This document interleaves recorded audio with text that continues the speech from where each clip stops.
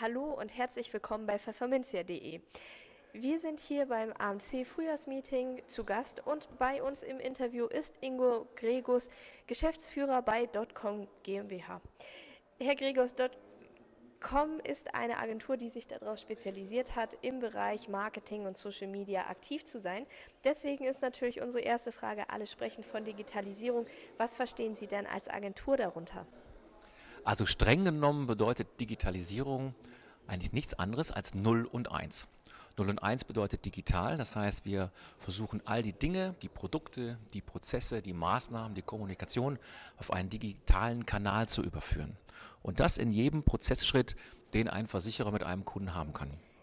Jetzt haben Sie natürlich richtigerweise den Versicherer angesprochen, aber im Vertrieb geht es natürlich einerseits um den Versicherer und andererseits um den Vermittler. Was heißt das Ganze dann konkret jetzt für den Vermittler?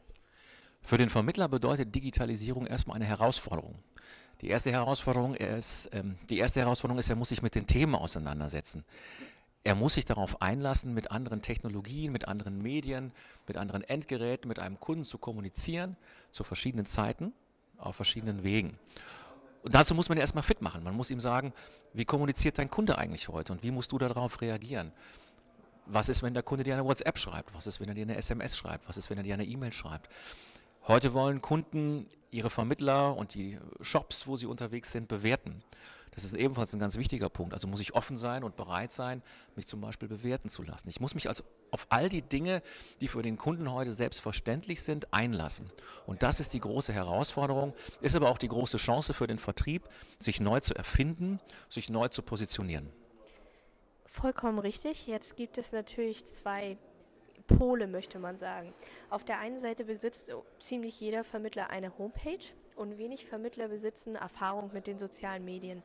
Wie gehören denn diese beiden unterschiedlichen Kommunikationsmittel und Wege mit zueinander und welche Unterschiede gibt es da auch? Wie sind da vielleicht auch Ihre Erfahrungen in der Praxis? Ähm, wie wird es vielleicht auch schon genutzt? Wie macht es einfach auch für den Vermittler Sinn zu nutzen? Das Geheimnis liegt heutzutage im Zusammenspiel der einzelnen Medien. Wenn ein Kunde heute einen Versicherungsvermittler sucht, kann es sein, dass er über Google kommt. Da findet er in der Regel die Homepage, erfährt was über das Team, ähm, über die Themengebiete, mit denen ein Vermittler unterwegs ist, über die Versicherung, vielleicht so einen gewissen Produktansatz. Der andere Part, und das ist das Thema Social Media, ist, wir wollen dorthin, wo der Kunde ist und wo der Kunde kommuniziert. Und das passiert schwerpunktmäßig in Facebook, hier und da auch bei Xing im B2B-Bereich. Aber Facebook ist im Augenblick die Plattform, wo der Kunde eines Vermittlers unterwegs ist. Also muss ich dorthin. Und optimalerweise verbinde ich genau diese beiden Plattformen, nämlich meine Homepage auf der einen Seite, wo mein Kunde mich über Google findet, die ähm, mit der Unternehmensseite auch verbunden ist und auf der anderen Seite mit Social Media, da wo die intensive, fast private Kommunikation mit dem Kunden stattfindet, da wo ich etwas Persönliches über den Kunden erfahre, weil das ist die große Chance. Der Kunde ist umgezogen, der Kunde hat geheiratet, der Kunde interessiert sich ähm, für Neubauten und da erfahre ich unfassbar tolle Dinge, die für jeden Vertriebler eine tolle Chance sind und auf jeden Fall einen großen Vertriebsimpuls darstellen. Jetzt sagen Sie natürlich vollkommen zu Recht, die sozialen Medien, zum Beispiel Xing, Facebook, Twitter, die sozialen Netzwerke insgesamt, aber natürlich auch Bewertungsportale sind eine tolle Vertriebschance. Das führt ja dann eben auch bei einigen Vermittlern zu der Aussage, die eigene Homepage sei tot oder sei nicht mehr ganz so wichtig.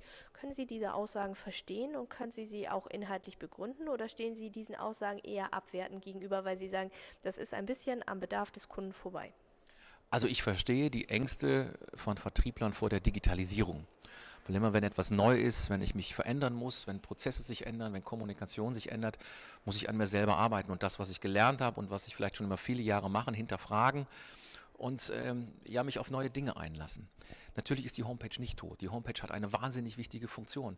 Sie sagt etwas über mich aus, wer ich bin, was ich tue. Sie hat auch eine Brandfunktion, weil sie sehr nah zur Versicherung operiert und ein Teil der Gesamtmarke ist. Ja, diese Markenausstrahlung habe ich auf Facebook beispielsweise nicht. Und wenn ich mich bewerten lassen will, lasse ich das auf meiner Fanpage. Wenn der Kunde mich sucht, ähm, äh, Entschuldigung, wenn, wenn, ich mich bewerten lassen will, dann mache ich das natürlich auch auf meiner Website. Da baue ich etwas ein, ob es Ecomi ist oder irgendetwas anderes, spielt gar keine Rolle. Und wenn der Kunde mich sucht, meine Adressdaten, wenn er die Anfahrtskizze braucht, dann mache ich das über die Homepage. Ich glaube, man muss immer genau schauen, was mache ich an welcher Stelle, was mache ich auf welcher Plattform. Die Homepage ist für mich die moderne Visitenkarte, wo ich alles erfahre. Facebook ist die Kommunikationsplattform, da wo ich in Interaktion, in sehr fast intime Kommunikation mit meinem Kunden einsteigen kann. Jetzt haben Sie natürlich gerade schon mehrfach darauf hingewiesen, die, der Mix macht es am Ende des Tages. Ähm, man muss die Dinge klug miteinander verbinden. Viele Vermittler hören ja viele Ratschläge, was man tun soll. Und es gibt ja so viele unterschiedliche Themen, wo man gerade auch etwas tun muss. Deswegen die Frage, welche drei Themen würden Sie Vermittlern in diesem Jahr ans Herz legen wollen, weil es einfach kein Ausweichen gibt? Und welche sind Themen, die man auch durchaus aufschieben könnte? Also der wichtigste Tipp, den ich einem Vermittler geben kann, ist, sei offen für neue Dinge. Sei mutig, sich mit diesen Dingen zu, äh, sei mutig, dich mit diesen Dingen zu beschäftigen. Das ist ganz wichtig. Und das ist auch die Basis, um überhaupt in so einen Change-Prozess, wie man den in Neudeutsch sagt, einzusteigen. Das Zweite ist, wenn ich mutig bin, mich damit auseinanderzusetzen, dass man für sich den idealen Mix findet. Es wird immer Leute geben, die auf Facebook nichts machen wollen, weil Facebook nicht ihre Plattform ist. Und das ist total legitim. Und dann würde ich auch nichts tun wollen und dann würde ich niemand empfehlen, es zu tun. Also finde deinen eigenen Mix, den du hast und nutze diese Vertriebschancen als dritten Punkt, den dir nur das Internet und nur die Digitalisierung gibt lass dich bewerten und wenn du gut bist, werden die Leute fast automatisch zu dir kommen. Das ist eine Riesenchance. Zweitens, finde einen neuen Vertriebskanal, mit dem du kommunizierst. Das ist zum Beispiel Facebook.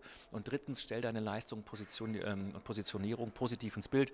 Und das ist die Vermittlerseite. Und dann gibt es noch so ein paar andere Dinge, die drumherum spielen, aber das ist ein Must-Have heute für einen Vermittler, wenn er sich ähm, in Zeiten dieses Jahrtausends gut positionieren möchte.